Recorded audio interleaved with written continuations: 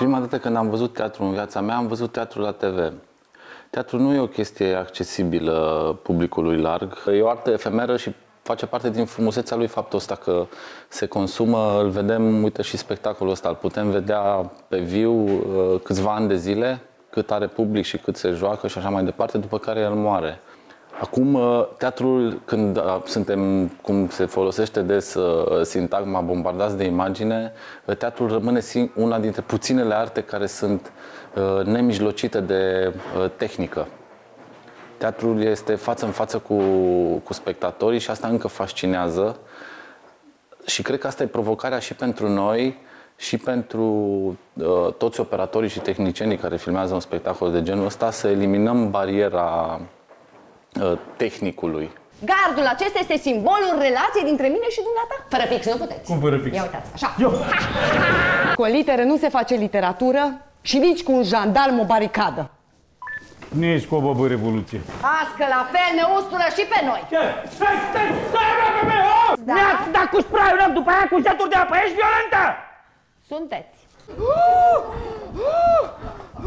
eu cred în continuare că teatrul trebuie să rămână uh, eminamente apolitic și totodată să nu uităm ce ne-a învățat uh, Shakespeare, că teatrul este o oglindă a realității și atunci noi nu avem voie să ne poziționăm pe nicio parte, noi nu, noi nu stăm la un amvon de la care să emitem edicte și să spunem e bună stânga, e bună dreapta sau hai să alegem calea de mijloc. Nu aveți autorizație, amendă. Amendă! 125 din 2016. Doamnă... De orice fel este interzisă! Gata, exprimăm, exprimăm, dar nu disturbăm. Viață de pensionar. Plimb toată ziua plasa. Plimbați.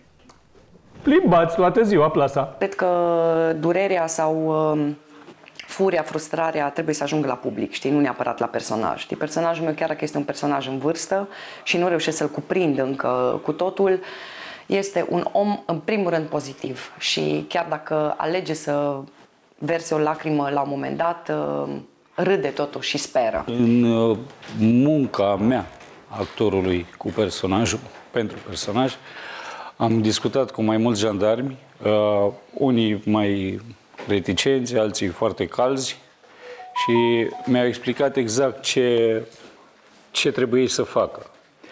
Practic, ei trebuie doar să stea și atât. N-au voie să ne bată. N-au voie să ne înjure, n-au voie să ne facă absolut nimic. Pentru că ei sunt în slujba noastră, a cetățeanului. Am avut un episod în care chiar mi-am văzut personajul în fața ochilor, la Iași, cu câtva timp, când mă uitam și nu știam dacă mă, eu sunt sau eu sunt el sau el e eu. M-a zăpăcit de cap, uite! Am capul pătrat! Bă, ce măta, nu zici nimic, a rămas fără replici. Da, Și avea părul lung, pârgule, fiindcă era... Hippie! Tras 37 cu 2. Atenție, liniște motor, camera, se văd cărțile? Se văd, da? În spate, bun. Set! Timișorenii de la Aoleu vă invită să urmăriți înregistrarea spectacolului Huo pe TVR3 joi 25 iunie de la ora 20 și în reluare vineri 26 iunie de la ora 14.